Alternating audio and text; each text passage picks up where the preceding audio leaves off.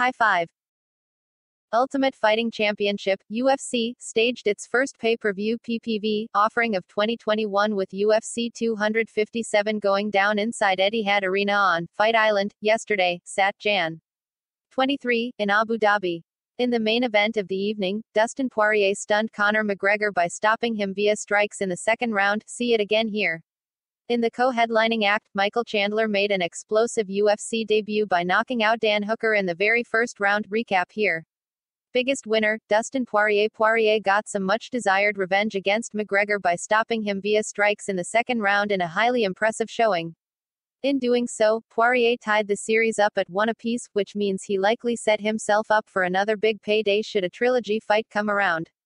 For now, the Diamond put himself in great position to fight for what one can only assume will be the soon-to-be vacated lightweight strap since Khabib Nurmagomedov doesn't seem to have any plans to fight anytime soon, if ever again. It is without a doubt Poirier's biggest win, which can only be outdone if he claims the official 155-pound strap in his next outing. Runner-up, Michael Chandler Chandler silenced all of the naysayers and critics who said he didn't have what it takes to hang with the big boys of UFC by absolutely obliterating Dan Hooker in the very first round, putting the entire lightweight division on notice. The former Bellator MMA 155-pound champion took his time early on, waiting for the right opportunity to unload his power. And he did just that halfway through the opening frame, tagging the hangman with a sneaky left hook that floored him.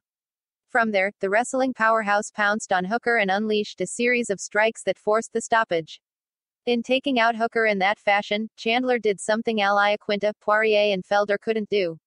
He also went home with an extra $50,000 in his pockets. A great debut all the way around. Biggest loser, Conor McGregor McGregor's highly anticipated comeback didn't pan out the way he would have hoped, losing to Poirier via technical knockout TKO. While Notorious did look good early on, Poirier made the adjustments and the calf kicks were just too much for Notorious, who eventually wound up on the receiving end of the Diamond's devastating strikes. The loss is McGregor's second in last two outings, with his lone win during that span coming against Donald Cerrone at welterweight. Is Notorious done? Highly unlikely. He will, however, have to go back to the drawing board and figure out what his next move is. Thankfully for the fiery Irishman, he has several options as the promotion's biggest star. Still, the loss, which is the first co TKO of his career, will be a tough one for him to swallow, and there is no telling where his mind will be in the coming weeks. For complete UFC 257 results and coverage, click here.